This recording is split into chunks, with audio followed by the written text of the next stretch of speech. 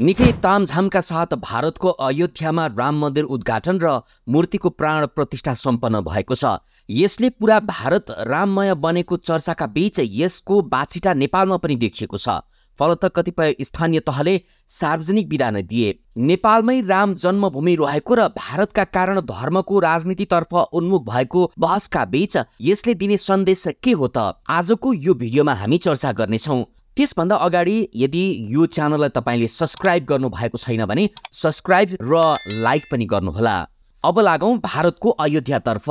भारतको उत्तर प्रदेश स्थित अयोध्यामा सोमबार भव्य समारोहका बीच राम मन्दिरको प्राण प्रतिष्ठा गरिएको छ। यसको खुसियालीमा नेपालका विभिन्न स्थानमा र्यालीदेखि सार्वजनिक विदा नै भयो।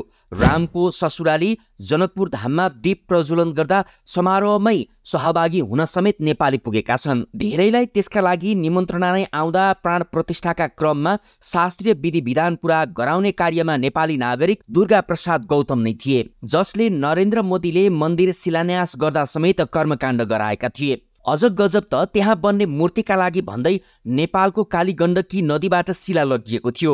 यद्यपि त्यसबाट मूर्ति बनाइएन तर अयोध्या पहिलेबाटै राजनीतिक स्वार्थको चेपुवामा पर्दा मोदीले पनि निर्वाचन केन्द्रित फन्डा गरेकै रूपमा यसलाई अर्थ्याइएको छ। यही कारण केही हिन्दू सन्त नेता तथा विपक्षीहरू भने मन्दिरको प्राण प्रतिष्ठा समारोहमा सहभागी भएनन्। तनावग्रस्त नगरमा रामको मन्दिर बनाउने हिन्दू राष्ट्रवादीहरूको दशौँ पुरानो बाचा पुरा भएको छ भने भारतमा हिन्दुत्वको मुद्दा अझ बलियो भएको रूपमा समेत यसलाई व्याख्या गरिएको छ। कतिपयले आदि शङ्कराचार्यपछि हिन्दुत्वको पुनर्जागरणको कार्य मोदीले गरेको रूपमा समेत व्याख्या गरेका छन्। यसरी हेर्दा व्यक्तिगत रूपमा मोदी र उनको एजेन्डा सफल भएको धेरैको बुझाइ छ।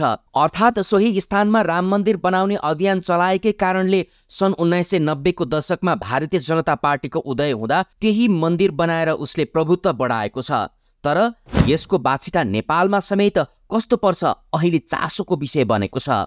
मोदीले राम मन्दिर प्राण प्रतिष्ठा मात्रै गरेका छैनन्। यही अवसरमा अयोध्यालाई अन्तर्राष्ट्रिय क्षेत्र बनाउन विकासको चर्चाका बीच मोदी सरकारले अयोध्यामा निर्माण गरिएको विमानस्थलको उद्घाटन समेत भएको छ। अब रेल सेवादेखि अन्य पूर्वाधार समेतले अयोध्या अब गुलजार बन्दै गएको छ। ग्वालियरले खोसेको वैभव अयोध्याले फिर्ता पाउँदा अन्तर्राष्ट्रिय विमानस्थल निर्माण र मन्दिर उद्घाटनको झल्को दिने प्राण प्रतिष्ठा समारोहले यो क्षेत्र हिन्दूहरूको पवित्र तीर्थस्थल हो भन्ने सन्देश समेत विश्वलाई दिएको छ। सँगै नेपालमा हिन्दुत्वको मुद्दा र धर्मको राजनीतिले प्रश्रय पाइरहेको बेला भएको समारोह र मोदीको उदयले अर्को बहसको सिर्जना गरिदिएको छ। सबैभन्दा मार त रामको जन्मभूमि अयोध्या नेपालको ठोरीमा रहेको दावी गर्ने एमालेलाई पुगेको छ। जसले एमाले अध्यक्ष केपी शर्मा ओलीले अघि बढाउन खोजेको धर्मको राजनीति मोदीको अघि फिक्का भएको छ। अर्थात् भारतमा रहेका असी प्रतिशत हिन्दूको मन जित्न सफल भएका मोदीले नेपालको झन्डै बयासी प्रतिशत हिन्दूमाझ पनि खुट्टो घुमाउन सफल भएका छन्।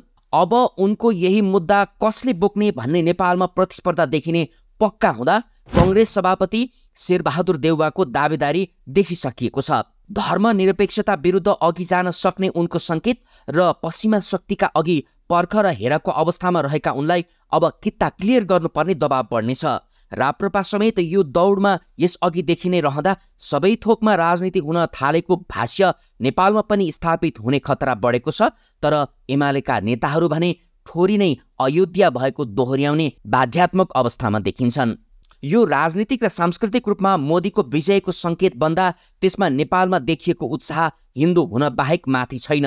सचेत हुन नसके यसले नेपाली राजनीतिमा पार्ने प्रभाव भारतको हस्तक्षेपको अर्को आधार बन्न सक्ने विश्लेषकहरू बताउँछन्। फलत रामायण सर्किट बनाएर आर्थिक उपार्जन गर्ने र विशुद्ध आस्थाभन्दा माथि नपुग्ने बाटो नै नेपालका लागि उत्तम उपाय भएकोमा दुईमा छैन।